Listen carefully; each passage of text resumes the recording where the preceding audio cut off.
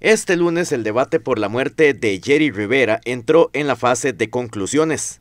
La Fiscalía realizó su exposición final sobre los hechos y los testigos que pasaron por este juicio que arrancó el lunes de la semana pasada.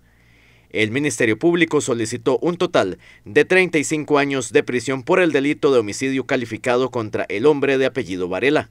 Que se declare autor responsable a Juan Eduardo Varela Roja por los siguientes delitos y se le impongan tal carácter las siguientes penas.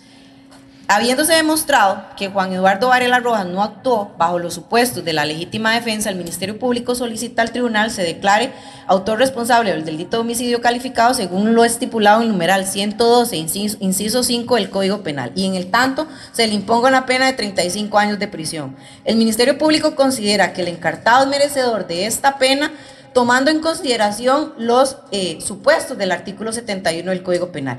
Es reprochable que un problema por una recuperación de tierras en las que estaba participando el ofendido en la, en la localidad de Terraba, que además ellos eh, determinan, es un derecho que les corresponde desencadenar a tanta violencia y odio en su contra, cuando el señor Rivera Rivera, según se acreditó en el debate, era una persona que fungía como un líder dentro de este territorio. Era considerada una persona que ayudaba a las demás eh, personas que requerían de algún tipo de ayuda.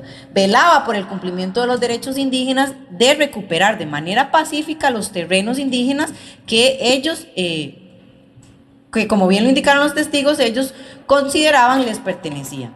Que igual forma, la testigo de descargo, doña Stacy, refirió que lo hacían de manera pacífica, que no se metían en territorios que eran habitados, que eran habitados por personas.